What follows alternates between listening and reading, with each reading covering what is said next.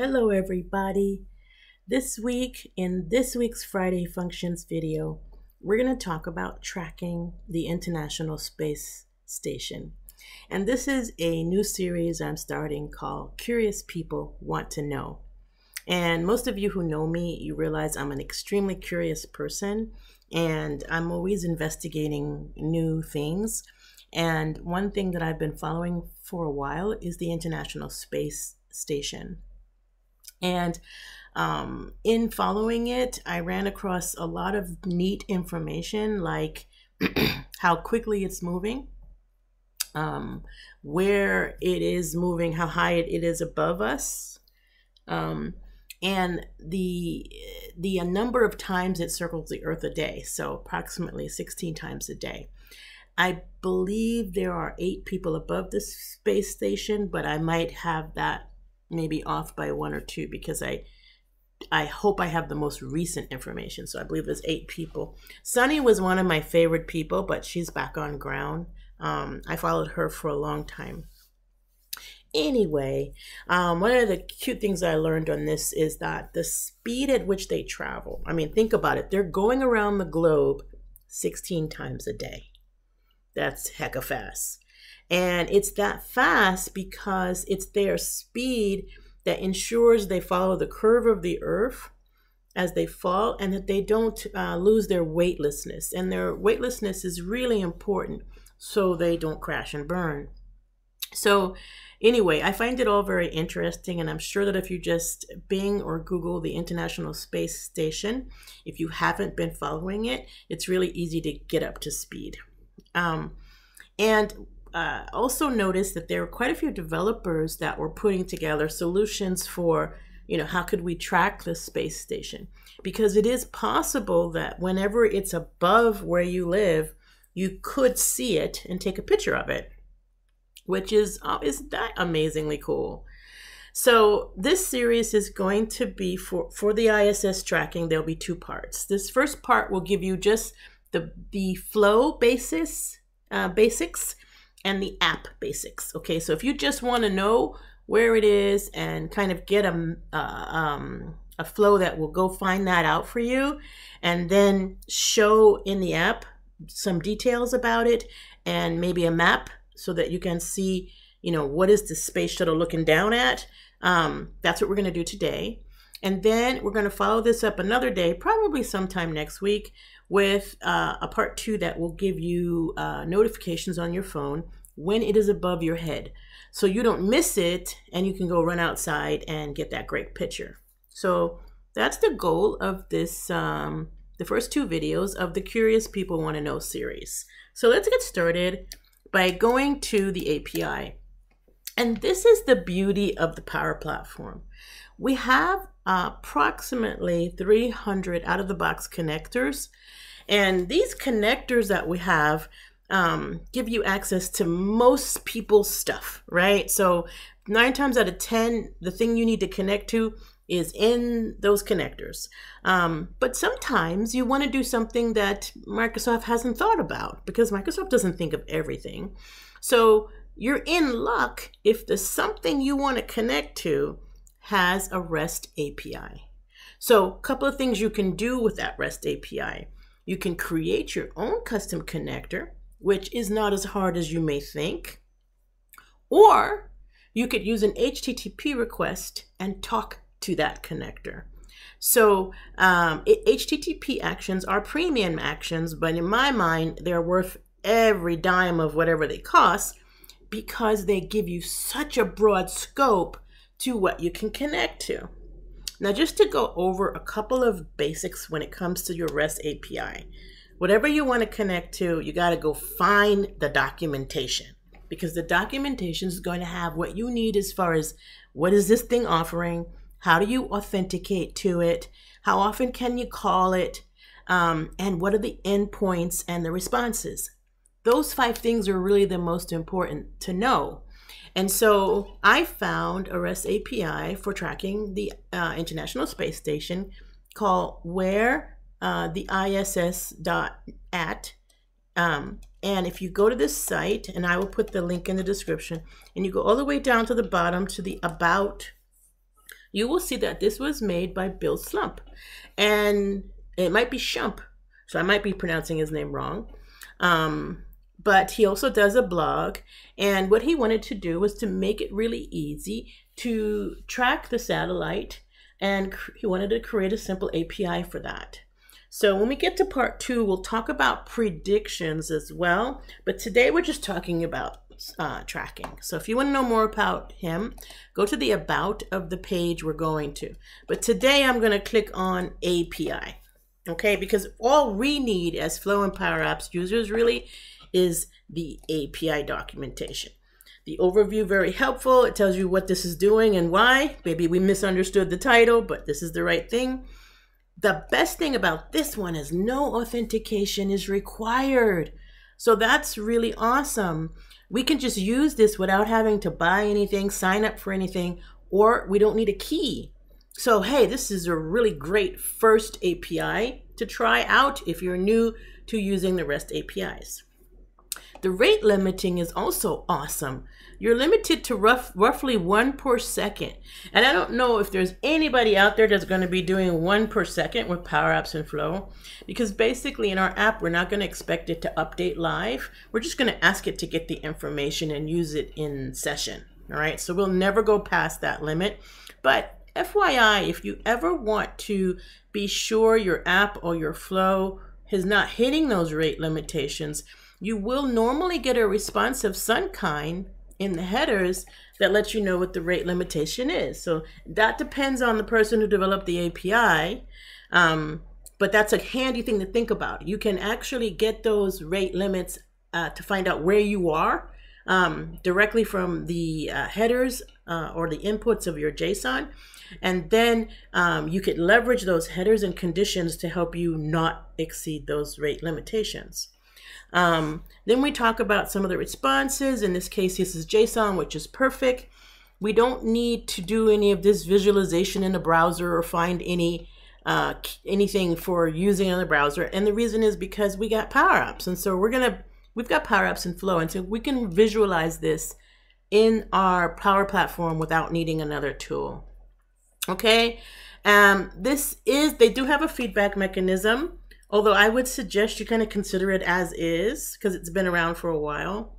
And it has endpoints, and this is very important to any REST API because these are the um, HTTP addresses or the URLs um, that you will use to make your um, to to to do your methods, right? So whether you're getting or you're um, patching or you're fetching, whatever it is that you're doing in your REST API, uh, you will always need uh, a URL to help you get started. In this one, it has a satellites one, but because it's only one satellite, which is 25544, um, by the way, I'm awfully geeky now that I know this is 25544. I'm feeling like a coder. And I start saying, hey, do you know about satellite 25544? Anyway, so that's the only one you get. So it's the ISS. So we don't need this one, so to speak, because we only have one that we're tracking. What we do need is this one here. Now, I recommend that you go ahead and look down to the bottom of this page. I mean, continue reading this page. If you find something else interesting that you want to do and post on Twitter, I would love to see how you would approach this. You know, like what kind of thing would you make? All right. So I'm going to go ahead and focus on this one, which notice it has at the end the, the key right? So that is the ID of our satellite. So if we're going to ask for information from this REST, P REST API about ISS, we have to use the ID, which is 25544. And then if we do everything the way we're supposed to, we'll get back this response. And let me tell you, I don't need all this, but this is what I'm going to need. I'm going to need the latitude and the longitude because I'm going to put a map in Power. I want the map to be of what the shuttle will see looking down at Earth. Like, you know, well, not the beautiful image of the globe, but the actual city or location where they're looking down at. I'm also going to grab the altitude, like how high is it, the speed, which is this amazing speed that they have that keeps them weightless, and the visibility as to day or night. I really don't need the rest because I can use Power Apps to put the date and time at the top and stuff like that, okay? So we're going to actually focus on those five things. Okay, so now that we have everything we need, we don't need a key in this case again because they said the authentication, everybody can do it. So this saves us some time. We're gonna go straight into flow and we're gonna create a uh, instant flow, but we're going to not use the flow button. We're gonna use the Power Apps button and we're gonna call this um, ISS locator. Now, uh, just a little tip here is I'm actually putting ISS in the front. Whenever I do a Power Apps button, I put the most important part of the flow's goal in the front. And that's because power apps will truncate the file name, the flow name. And so I want to make sure I see the most important part that helps me recognize this flow. So this is about the ISS. I'm not doing a lot of flows about ISS. So this will make it easy for me to find this flow.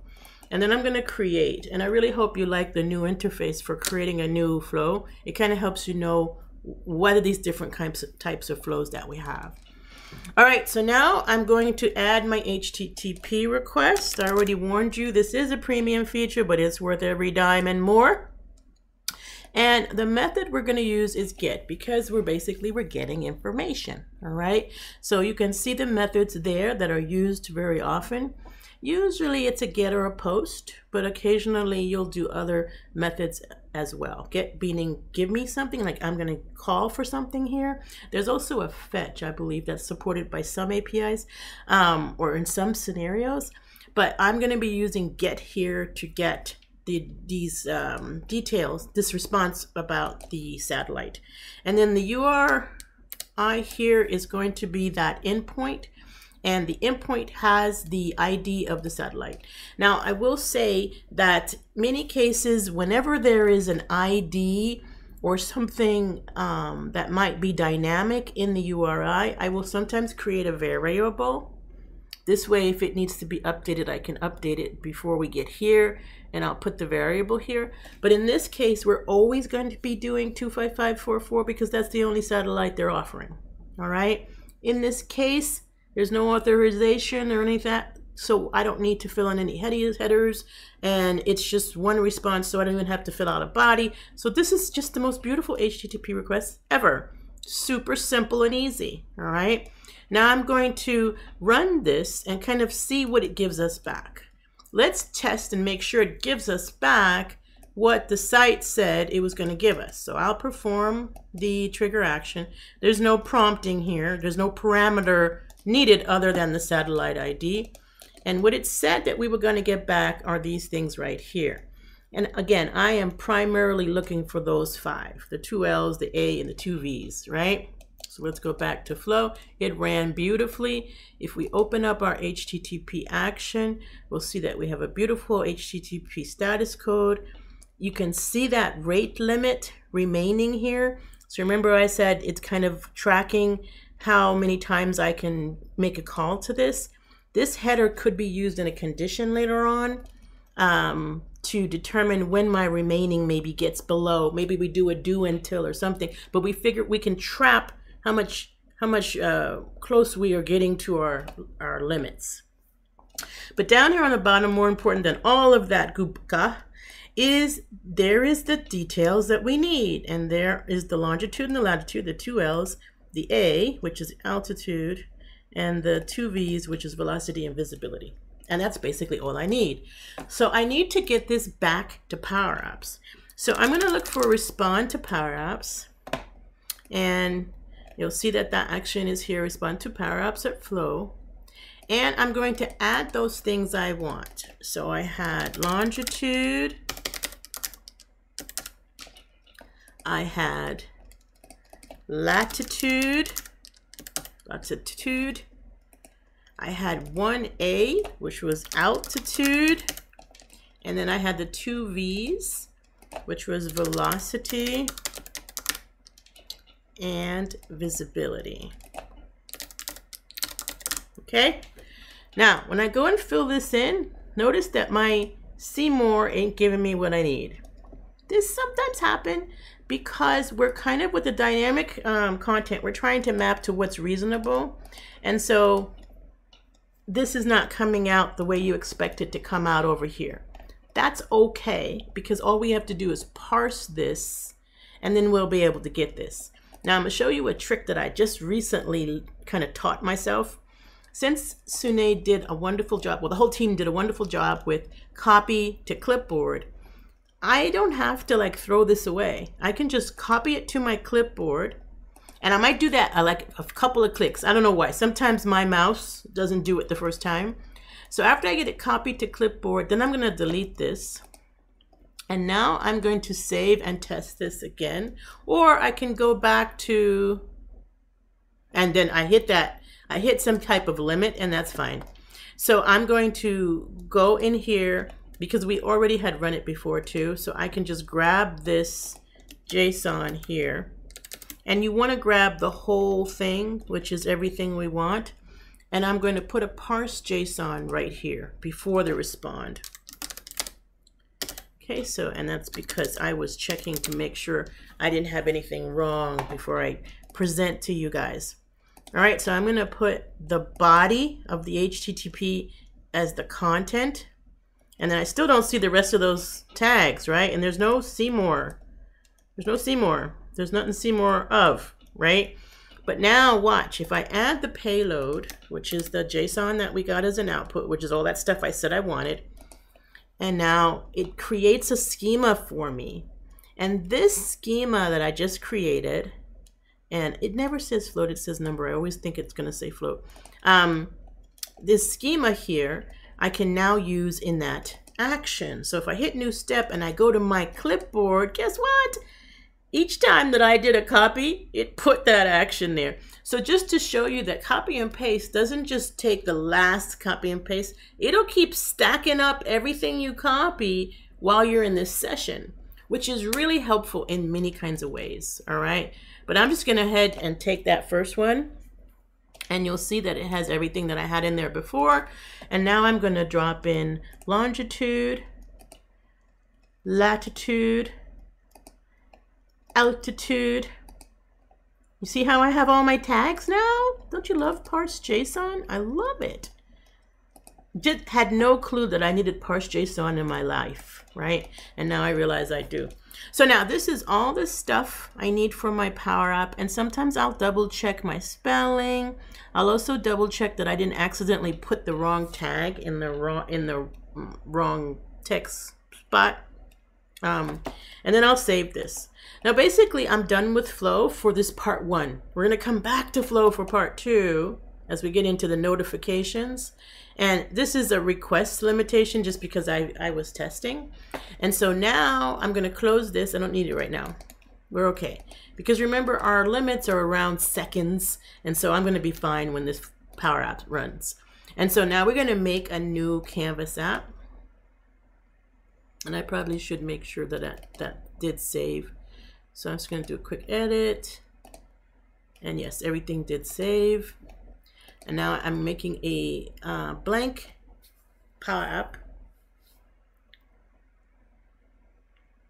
Now, the visibility property, you probably understood longitude, latitude, and velocity, and but the visibility property is kind of important because what it does is it um, tells you whether the, the satellite is in daylight or in um, nighttime. If it's in nighttime, it's harder to see the maps of the Earth because it's nighttime if you set it to satellite, and which I'm going to do. Um, but it's good to recognize with that visibility. It's going to say daylight or something else, like maybe nighttime or something like that. So keep that in mind because we're going to do something fun there. And I'm going to start by adding Bing Maps here. Um, now I do need a key for Bing Maps, but if you just go to Bing slash developers, um, you'll be able to easily get a key um, and it'll tell you what your limitations are and so forth. So you do need the Bing Maps in order to get the map. Uh, you could use any map you want, right? And I'm going to put that map into an image. So I'm just going to add an image to the page, to the screen, and that map is going to take up most of the screen.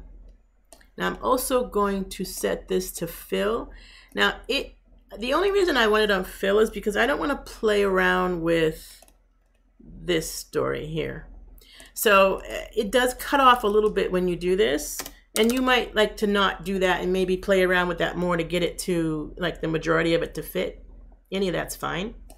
So now I've got that in there. Notice how nicely Power Apps has made this so much easier to switch from data sources to um, monitor to um, objects to tree view. I mean, it's just, it's really nice how they've optimized this at this point.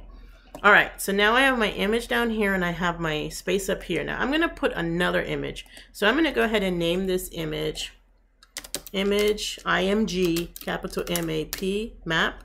And I'm gonna add one more because I'm gonna do something fun. I'm gonna put a daylight image when it, the visibility is daylight and I'm gonna put a nighttime image when it's not. And so these are gonna be at the top. So let's go ahead and add those two images. So I'm just gonna do view media and I'm actually gonna browse to them and just highlight them. And you can just go to bing.com and look for uh, royalty-free images that you could use for this purpose, or you don't have to do this. I thought it was just a fun thing I could add. So now I have these two images here. I also have an image for the icon, which again, I just went online and looked for something um, that looked like the ISS. If you just, you go to Bing, it has like an image catalog. And so you can use the image catalog to locate things that you need. We're gonna call this ISS tracker app. Uh, find the International Space Station at any time from your mobile device. Okay. And again, you can always add other things to this. This is what I love about making apps. We can now have the tracker next to something else that's about the moon. We could make an app with everything NASA driven that we care about, right? Okay, so now I'm gonna go back. I don't need any special advanced properties. This is one of those simple, simple, simple apps and basically, I'm just going to focus on making sure that everything is um, lined up. And so we're going to talk a little bit about some alignment tips that I want to give you. Um, I'm going to automatically set this image to sunlight. Uh, what is it? What was it called? Let's see. Sunrise. Okay. We'll just make this a daytime image by default. And I give credit in this case to Jason Peroni, who did the photography here. Um, but you can go out there and you can get non-royalty free photos. I'm just using this for this exercise. I'm not going to sell this app or even encourage anybody else to sell this app. It's just an exercise. Um, okay, so now we've got that image at the top. This is going to be the map of the Earth where the shuttle is. So I'm going to name this one up here image visibility because I'm going to, if the visibility is daylight, I'm going to use this image. If the visibility is not daylight, then I will use the other one. And you know what I'm going to do? I think I have a lighter one. So take your time and resize your images so that they are not too big. I'm just looking because I think I did a resize and now I can't remember where it is. Right here, I think. So one of these is smaller. So you see that's, that's one meg. This one is less than a meg. So go for the smallest you can when it comes to these images. All right. So now, um, it's like my basics. I've got my Bing in there. I've got my two images. I've got one image set to sunrise. And now we need to connect the flow. All right. Now, I'm going to show you a little trick here. I'm going to use a button to connect my flow. So I'm just going to do an action here and I'm going to do flows. And then I'm going to pick my ISS locator. Now these are nice short names, but you can always, that's why I put it on the left so that I could be able to see it even if it was a long name, right? Because sometimes these will get truncated in Power Apps. Okay, so now everything is there. There are no parameters in this, remember? Because we only needed to pass the um, uh, ID of the satellite, which we did. So we're just going to close this.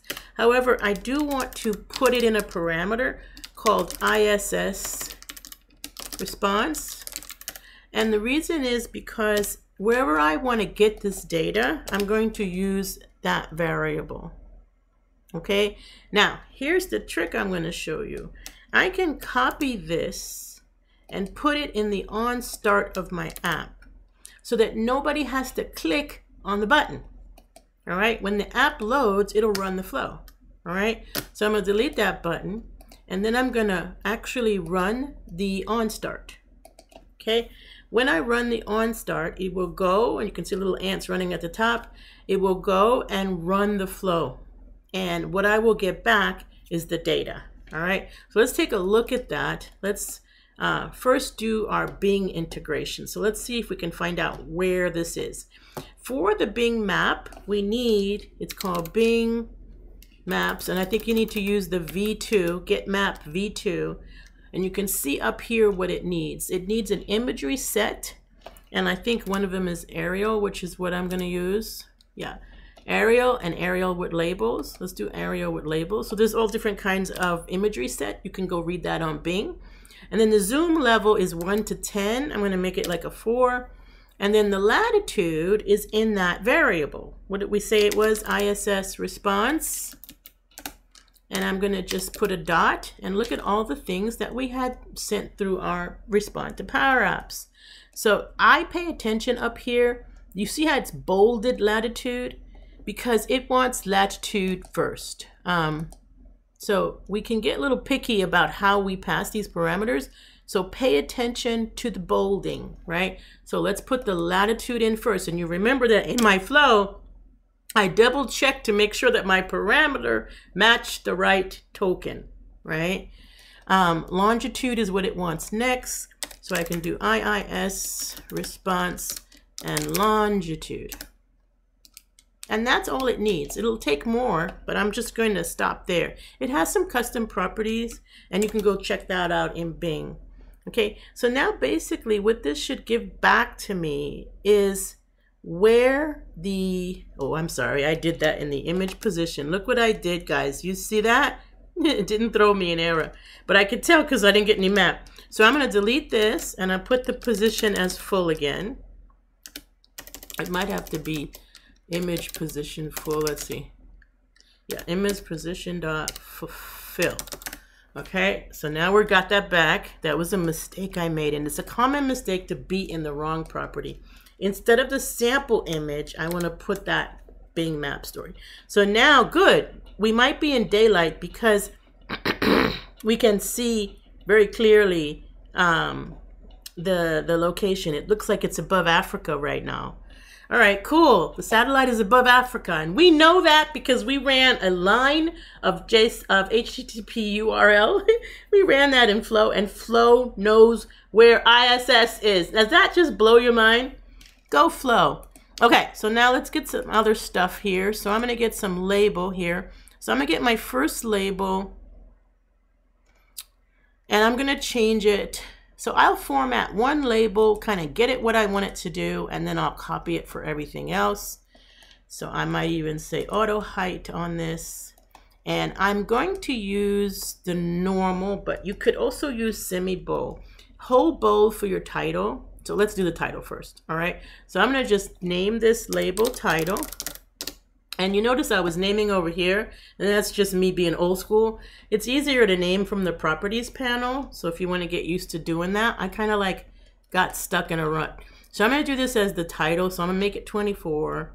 And then my text is over also over here. So I don't have to change over here. I can go straight over here and change the title to um, ISS, ISS tracker app. And over here, when you're working over here, you don't need any quotes. They put it in for you, but you do need to tab away. Notice it hasn't changed. As soon as I hit tab, it will change, right? So just a little thing to note. All right, so now I'm gonna copy and paste that just with Control C, Control V. And if your mouse or Control C, Control V isn't working, you can go over here and say copy, so I'm going to copy this and then I'm going to paste it. And right away, I'm going to rename it. And this is going to be my label longitude. It is a best practice to rename your variables. And I'm just going to bring this down to 18 points and normal font. Well, semi-bold. Okay. And then move it just a little bit lower. And then I'm going to change the text property. Now don't worry about being precise in your positioning. I'm about to teach you a really quick trick for getting the positioning right without a whole lot of work. All right. So this is going to be my date. And I'm just going to add now here so you can see the date and the time. Um, I'm sorry. So let's name this label date. I forgot I wanted to do that. And then we're going to try copy and paste again. Yes, it worked this time. So I did control C, control V. You can feel when it's got a nice alignment and you can see the dashed lines. But I'm going to show you something even better. And this time I'm going to do longitude. Well, I think people think in latitude and then longitude. So I'll do latitude first and then we'll do label latitude. And then instead of now, we're going to do the response again. ISS response dot latitude. Really super easy, right? And if you want to take this down to less numbers, you could use your next your number formatting. So I could do text, right? And then maybe I just want this to be, um, I forgot what it was, but some format like that if I don't want all those numbers. And apparently, uh, what am I doing wrong? Mm-hmm. It may not be formatable. So like if that's a number, it may not be. So I'll, I'll talk to you about format numbering later. I have some surprises for you there as well. So I'm gonna leave that as is. I'm gonna control C, control V. And under that, I'm gonna put the longitude. And same thing here, just longitude, longitude, and then change this to longitude. And again, I do stress these best practices because you'd be surprised how much this helps when you go back to edit your apps or when somebody edits after you, right? And so you can use your search and say, give me all my labels or give me all my images. If you use consistent prefixes, you can find all your buttons that way. So it's really cool. If you just name things with a consistent uh, naming protocol, then you can, it's very easy for you to manage it later. Longitude, latitude. So we had the two L's. We had the A, which is altitude. And this will be altitude. And then we have the two V's. So we'll name this altitude. I know some of you are fast forwarding, but I think it's important to stress these best practices. So altitude, and I might give it a capital A up here for consistency. And then copy and paste that. And now I need my two V's, which is uh, velocity. Sorry, I missed. Uh, rename. And you'll notice I tend to go over to the left because that's how I learned um, velocity, and then we'll change this to velocity.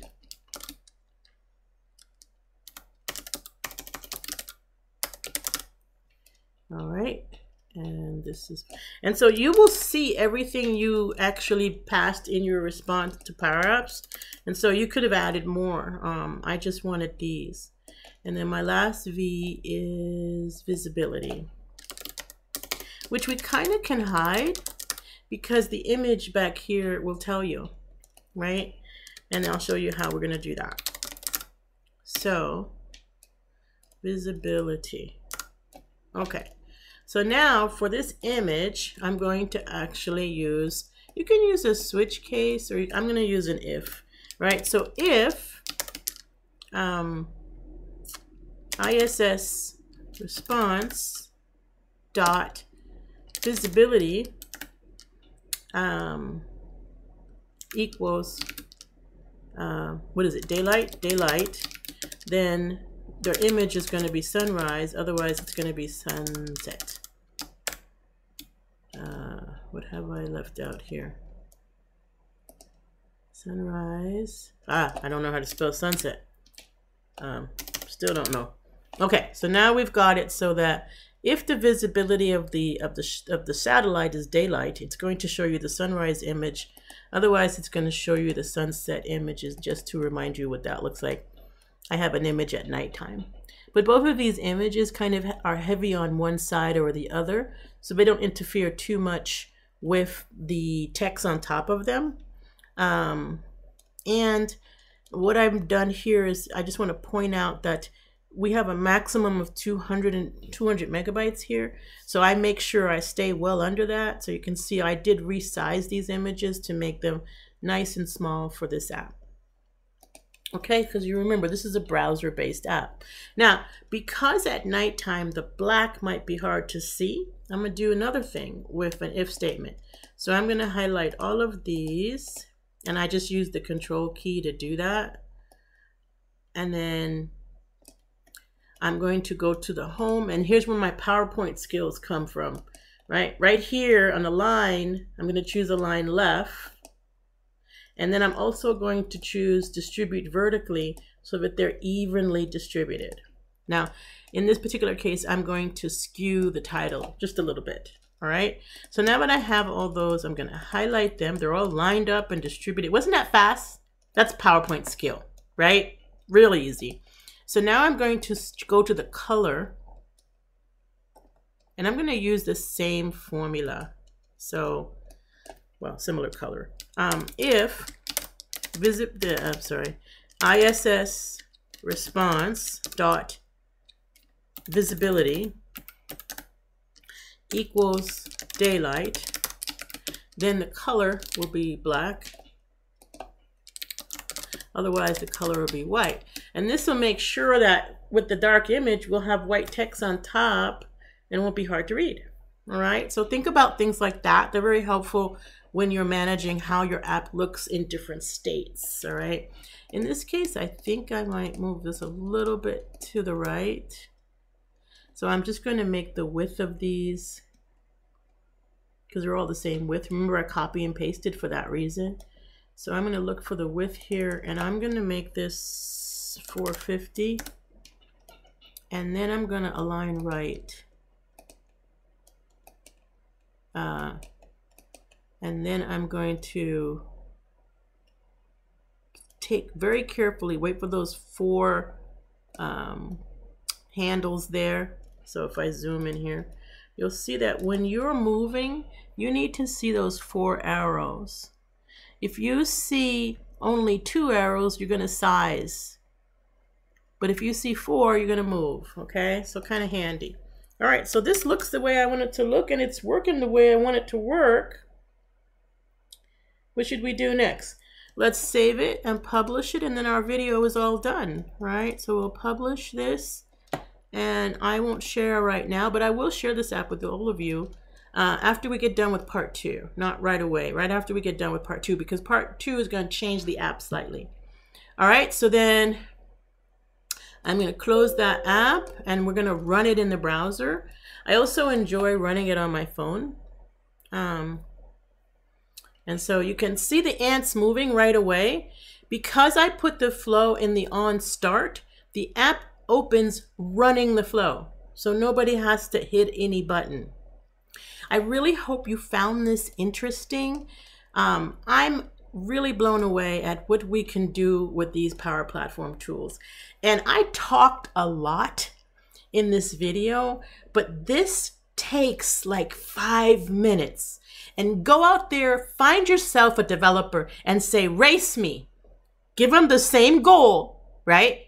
You need to go get that information. Then you need to put it in uh, uh, an app in some way that you see two pictures and, and one picture says daylight or night. The other picture is the map of the world underneath the shuttle. You say, okay, let's race. And you sit next to that developer and you beat him or her, right? because we've got these tools that just expedite it. And that developer, if he's smart or she's smart, they'll come try out Power Apps and Flow too because it'll save them time as well. So I really hope you enjoyed this. Um, I'll put all the links in the description. You don't really need anything except for the link to the RSS, um, to the REST API. Um, and I hope you learned something about REST APIs today. Maybe I took a little fear away and you're ready to go out there and find your next REST API to play with in Power Apps and Flow. I hope you have a wonderful weekend, and I'll be talking to you next week with part two, where we'll find out how Flow will notify us when the ISS is above our heads. You guys have a great weekend. Enjoy.